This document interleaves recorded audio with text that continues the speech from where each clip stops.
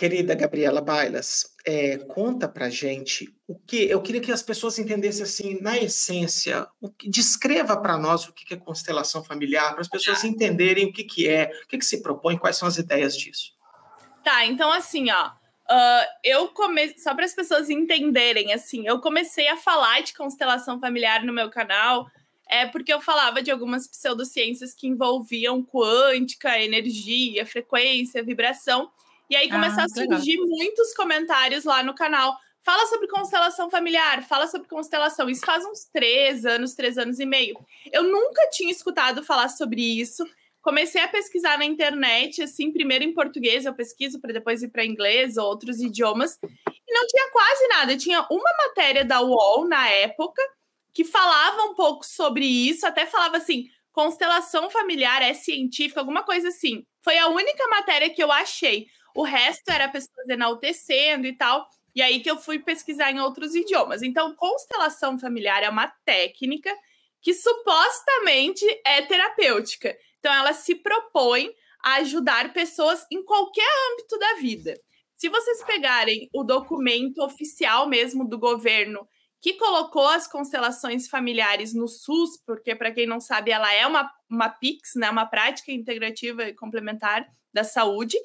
Então, diz assim que vai te ajudar psicologicamente, financeiramente, fisicamente, amorosamente. É tipo assim, uma lista, ou seja, ela vai fazer tudo na tua vida. Então, para as pessoas entenderem, porque realmente eu acho que é difícil entender como é que funciona. Seria assim, tu tem um problema quando tu vai no psicólogo, tu vai conversar com o psicólogo e aí cientificamente o psicólogo vai te ajudar. Na constelação familiar, o psicólogo seria um constelador, então uma pessoa que tentaria resolver o teu problema. E o constelado é a pessoa que tem um problema. Vamos supor que o Léo tem algum problema e chega e fale: Ah, eu não consigo dormir muito bem à noite. Tá, vamos constelar o teu não dormir bem à noite, porque fica ansioso, sei lá. A pessoa vai trazer outros elementos, por exemplo, outras pessoas que estejam, se for uma constelação em grupo, ou bonecos, ou cavalos. E aí, Boneco? Essa boneco, por exemplo, um boneco na água, eles colocam um, uma tigela. Nunca viu assim no, no Reels aparece às vezes uma tigela de água e aí tem uns bonequinhos assim. E, aí e eles, eles vão me constelar. É, os bonequinhos seriam pessoas da tua vida, porque a constelação é assim: tem tu, tem o constelador e os bonecos ou outras pessoas representam é, pessoas ao teu redor, por exemplo, a Lu, os teus filhos, a tua mãe, o teu pai, um tataravô. E aí ela começa a constelação e cada pessoa pode fazer o que quiser. Vamos supor, uh, eu estou na tua constelação e eu represento, sei lá, tua mãe. Uhum. Aí eu, por alguma razão, que eu não sei qual, eu decido me deitar no chão. Aí o uhum. constelador vai dar um significado para esse me deitei no chão. Normalmente é, ai, tu não dorme muito bem à noite porque, sei lá, tu tinha um irmão gêmeo no útero que tu comeu e aí a tua mãe trouxe alguma coisa disso para tua vida e hoje em dia tu não dorme bem. Então tem umas explicações explicações aleatórias sobre muito o aleatórias, porque na constelação é uma coisa meio livre. Cada pessoa faz o que quiser naquela constelação em grupo. E o constelador dá significados para isso. Só que assim, pensa, um grupo de pessoas onde tu tá expondo o teu problema publicamente, tem muita gente vulnerável. Então eu já entrevistei pessoas que falaram: "Ah, eu chorei na constelação". Aí eu falei: "Tá, mas por que que tu chorou?". A pessoa: "Ah, não sei, me deu uma vontade de chorar ali naquele momento". Aí o outro: "Ai, me uhum. deitei no chão".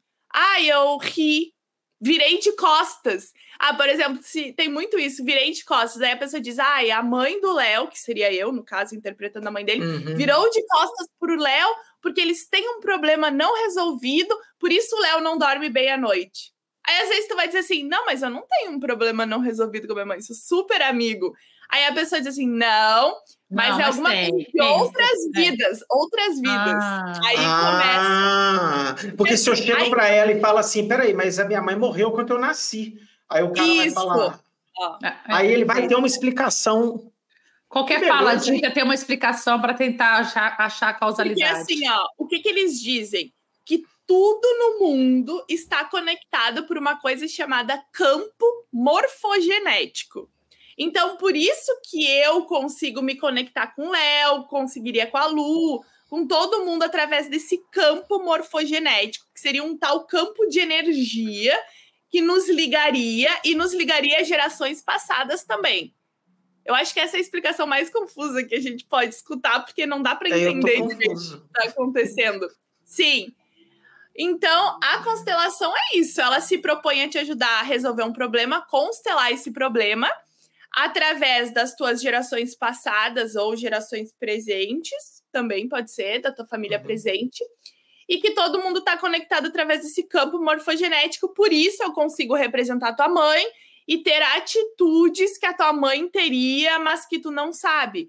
Só que assim, todas as explicações da constelação familiar vão gerar sempre em torno do mesmo: um feto abortado, uma mãe que tem algum problema, um irmão gêmeo que comeu o outro no útero, um tataravô que matou uma tataravó, são sempre coisas que tu não tem como provar. Porque como é que tu vai provar que o teu tataravô matou a tataravó? Ou uhum. os pais do teu... É porque são pessoas assim que ninguém conhece, digamos. Quem é que sabe a vida exata do seu tataravô? É meio difícil, né? Uhum. Então, uh, sempre tem alguma explicação desse gênero. E a constelação com bonecos é a mesma coisa. Ah, e o boneco foi mais para a direita, foi mais para a esquerda, e aí vão dando significados para isso. E com o cavalo a mesma coisa. Tem até um episódio muito legal do Thomas é, Thomas Caverini, que ele é um jornalista muito bacana, que ele tem um podcast chamado Rádio Escafandro.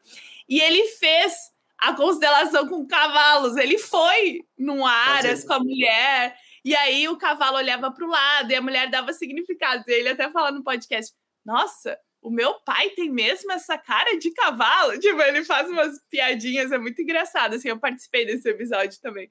E aí é isso a constelação, só que ela Caraca, ganhou muita força. Ela entrou no SUS, ela entrou no judiciário. Apesar da constelação não não existe uma lei que autorize a constelação, ou que regulamente a constelação, ela entrou em vários meios. Então, ela entrou no judiciário. Hoje em dia, uh, existem é, processos que são resolvidos através disso, de uma constelação. Isso que eu ia te perguntar, porque as pessoas talvez não tenham esse conhecimento, Bibi, mas é, não, não, é, não, não, não é necessariamente um psicólogo que é um constelador. É isso que eu Pode ser qualquer pessoa, não. né? Qualquer pessoa que fez um curso de constelação pode ser um constelador, porque no Brasil o terapeuta não é uma profissão regulamentada, né? Se tu fala que eu sou terapeuta, eu eu posso ser uma terapeuta, eu posso fazer um cursinho de sábado de tarde, do nada eu virei terapeuta. Uhum. Uh, a palavra é, terapeuta não é exclusiva do psicólogo, então muitas psicólogo. pessoas também confundem isso. Esse uhum. ano, o Conselho Federal de Psicologia escreveu uma nota que diz que constelação familiar não é ciência e que os psicólogos não são autorizados a utilizar constelação familiar. Mas só agora em 2023 foi a nota 1 de 2020, nota técnica 1 de 2023 do Conselho Federal de Psicologia, para quem quiser olhar. É, e aí diz que não é ciência, que não tem evidências, que os psicólogos não podem usar. Mas olha que coisa, o psicólogo não pode usar enquanto psicólogo. Mas se ele tiver um outro consultório em outro horário que ele não é um psicólogo, ele pode. Então, é, não é assim, não existe uma proibição que deveria existir, mas ainda não existe.